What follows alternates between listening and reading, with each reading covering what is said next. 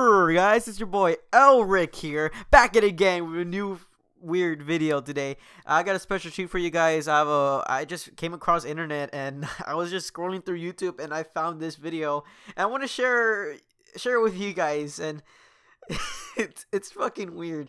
Ban Germany Ninja Turtle commercial. That, that's le- that's legit the title and um hopefully you guys will enjoy this. So let's let's get on with the video, shall we? Hopefully you don't kill me afterwards.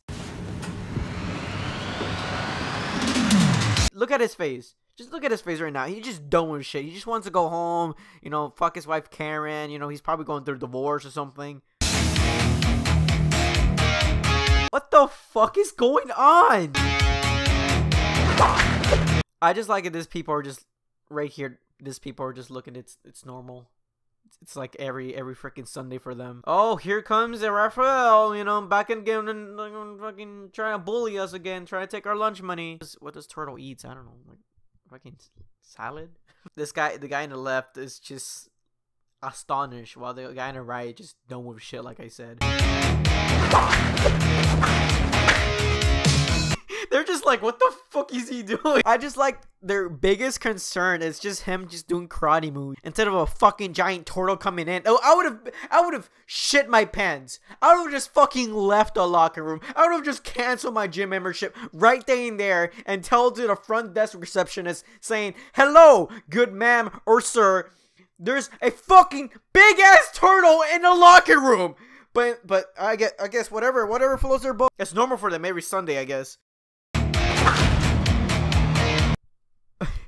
Why is he grabbing his nuts? I'm I'm very scared.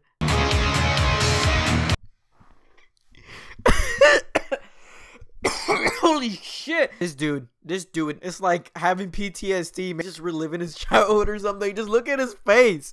Just look at his face. Tell me, you cannot tell me this guy, this guy's been through shit. Don't you dare tell me he hasn't been through shit. Look at his face.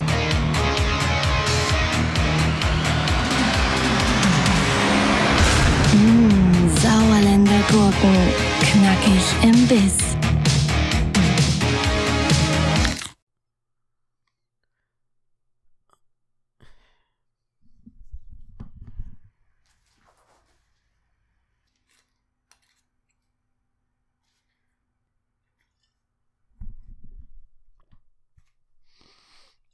I'd rather drink 50 of these because I'm trying to forget that I ever saw this commercial. You have to keep in mind,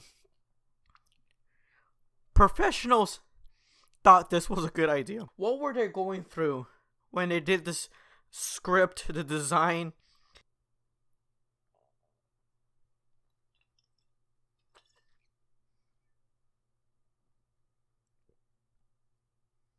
Here we go.